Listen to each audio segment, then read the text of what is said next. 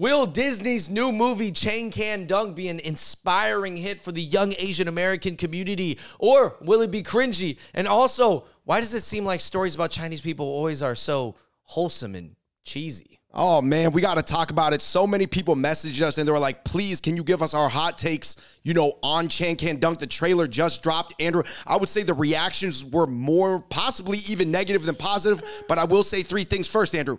Nelson's in the film doing some background work and some stunt work. Uh-huh. You uh, do know the director of this film. I, I met him before, and, yeah. and basically, I am going to tell my nephews to watch this film because it's still going to be positive Asian American male representation.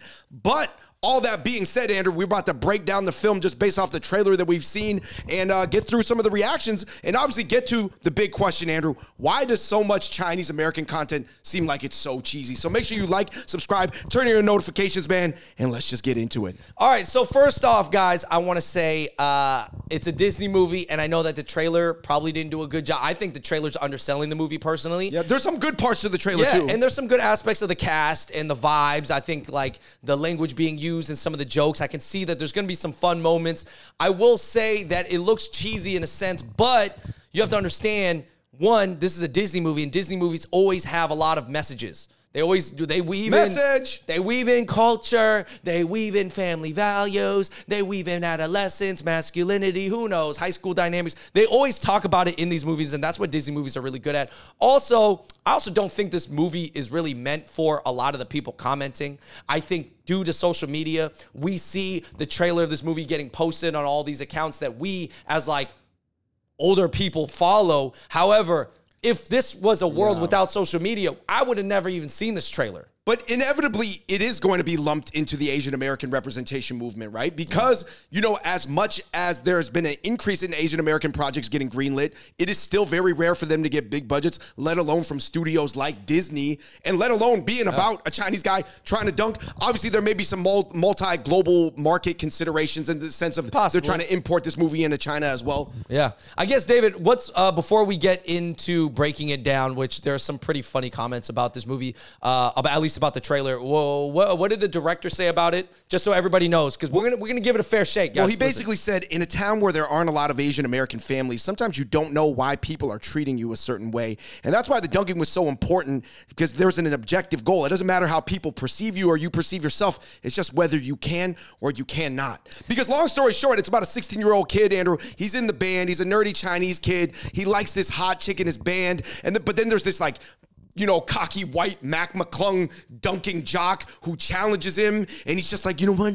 I'm not gonna be this like low status, low SMV guy in the high school anymore. I'm so sick of it. I mean, dunking is just a vehicle for him to change. So I think that's really what it's about, even though the dunking aspect seems silly. But uh, yeah, I mean, you got to think about it. If you saw some little band geek, right, and then he just starts rapping all of a sudden, you're just gonna be like, oh wow, this this is not the kid that I thought he was. Or if all of a sudden he just walks up in gym classes and then just off of two feet dunks it, you're gonna be like, oh, this kid's different. You know? Yeah, it would change your perception of him. Um, some people said immediately, Andrew, why does it seem like a Disney version of Boogie? And then they had a bunch of pictures that like really matched it up, shot for shot. I was like, oh yeah, there's definitely some similarities. yeah, yeah. I Well, mean- Boogie's like the hood grown up version of Chang Can Dunk. Yeah, logical. Okay, yeah, I get I get the comparison.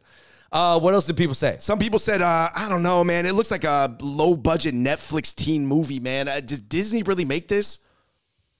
Yeah, maybe not all Disney movies have the same budget, but I mean, I thought it looks okay. Yeah, I don't know. Maybe they could have shot it in LA and like maybe made him actually competing with Mac McClung for like the starting spot. You know what I mean? Like maybe they, he didn't have to make it as like stark contrast. Maybe I don't know. They could have filmed it in South Pasadena. Well, well, maybe you you you'll start producing movies, David, and then Yeah. you can go produce it all in LA and save a bunch of money, and then pay for this and that. yeah, I could do it. I don't know. I have the skill set. Um, somebody said looks cool, but only for kids though. Maybe for something somebody kids like uh, K through eight. You know, up to 14 years old. Yeah, yeah, yeah. Um, no, I mean, I, I think that's mostly who it's for. And then, of course, there were the troll comments. Basically, somebody said, uh, "Why not just make a Jeremy Lin biopic instead of doing this weird Walmart version of it?" See, look at all these oldies commenting on this Disney movie, man. The funniest one though was the uh, yeah, I like the part where he ate dumplings and then karate chopped the bully. That's goofy. Somebody man. said uh, this feels sort of weird and awkward, almost like a troll parody of like a teen inspirational movie and not an actual inspirational movie because there were so many parts that seemed like hyper unrealistic. I mean, dude, it's a Disney movie. Like if you watch any of these Disney movies, which I actually enjoy them, Luck of the Irish, Wendy Wu Woman Warrior starring Brenda Song, these these movies that I watch back, Brink, Johnny Tsunami, classics. Like if you watch the trailer right now, you'd like probably think it's kind of cheesy too, but when you watched it at that time in your life, you took so much away from it. Right. Disney movies are primarily designed to probably what have enough depth that the parents watching it with the kid they appreciate it, and then the kid can appreciate it whether they catch the uh-huh. message or not. What what I would have liked to see in the trailer though is some Asian parents. I think the parents dynamic filial piety. is always a good one. And yeah, I mean, I think there's some things missing of the trailer, even though the trailer is like two and a half minutes long. Somebody said, uh, "Why does the guy have to be kind of like a stereotypical Asian nerd that's just like not cool, even though he's trying to be cool? Why couldn't he be he have been like a band kid and a good student and actually been cool and just trying to balance it all and then compete with the white guy?" Well, yeah, exactly. Everybody's no one's gonna be happy, man. Dude, you could have changed the antagonist. Oh, it's not a white basketball player; it's a black basketball player. And then everybody been like, "Oh, this is white." It's the same. Man, there's always comments. All right, Andrew, let's get into the takeaways. I guess why is Chinese American content, and I'm not saying don't watch this, watch uh-huh. Chang Can't Dunk, by the way. Why does it always seem like it's kind of like made for a church leader, valedictorian, model minority Chinese guy? Because obviously everybody knows that's the stereotype of the Chinese American culture, even more than other Asians. I think all Asians have it, but like particularly Chinese Americans, this embrace of the model minority myth. Obviously, he's trying to break free from it in this piece, though. But like, why does it seem like whether it's Fresh Off the Boat or ABC, which is this new uh, American-born Chinese, even though it's got all the stars in it, it's always based around this kid who's like, "Yeah, I'm a straight A student. I'm not cool at school, but I want to be more. What if I had a different life?" Where I was the Monkey King. Uh, actually, ABC and Disney, they're all the same company.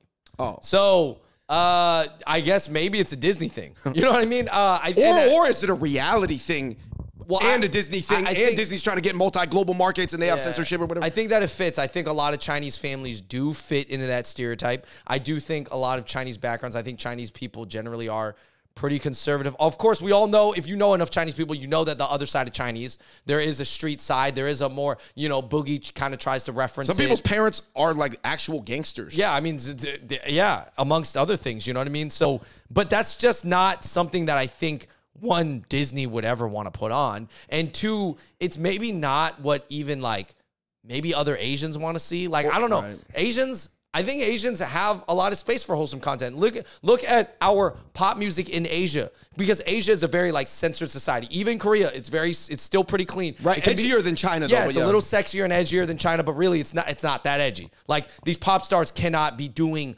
edgy stuff in their life, right? Or they just go to jail for a really long yeah, time. literally, if they're like smoking weed, they're like getting arrested like crazy. You know what I'm saying? So I guess like at the end of the day, we have to understand that the true Asian life that comes from Asia, a lot of it, not all of it, but a lot of it A is- higher percentage of it. A lot of it is kind of conservative in some sense, Right. You know, And um, I think that we're guilty of playing into that too, right? Andrew, we made a bunch of music videos that got millions of hits. Boba Life, Asians eat weird things. You know, some people criticize some more than others that that those were like very much playing into the model minority myth or like the Yeah. evangelical Protestant Chinese church world. I mean, but I, I think that's. I mean, people would say the same thing about Wong Fu content back in the day. It's like if that's where you're from, like. I mean, isn't this the isn't this just the excuse that rappers make? Be like, oh, why do you talk about guns and drugs and all this stuff? That's where I'm from. I'm just telling the stories from the streets. I don't know. Like that's, these are just stories from my Tell- childhood. telling the stories from the geeks. Yeah, I mean, to an extent. I mean, yeah, I do think that there is some marketing play, and everybody thinks about marketing and, oh, people are going to like this or people respond to this. So, yeah, it is what it is. But I think that there is a thirst for the other way. But at the end of the day, if there's not a large enough population of people within our community that act like the other way, and then then those stories will not get made. Yeah. I would say that people are going off like the bulk distribution, you know, on a growth, you know, when you like do a plot chart curve. I mean- people are going off the bulk distribution, which is like the majority of the people in the middle, right? Do we need to show them the Two Bridges trailer? Do we need to show you the Two Bridges? I'll play it right now on the bottom there. Look at Um, this. Anyway, guys, let us know what you think of the Chang Can Dunk trailer. Are you gonna watch it? Why do you think so much Chinese American content is like so cheesy and wholesome? And is that good or bad? Anyway, until next time, we the Hot Pot Boys. We out. Peace.